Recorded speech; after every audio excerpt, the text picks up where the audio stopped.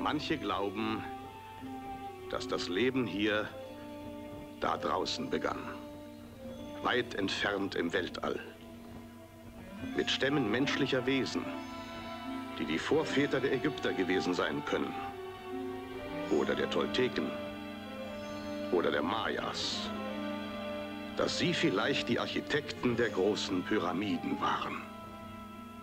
Dass es die versunkenen Laminaria-Kulturen sind oder Atlantis. Manche glauben, dass dort noch Brüder der Menschen leben, die sogar jetzt noch ums Überleben kämpfen. Weit, weit weg, zwischen den Sternen.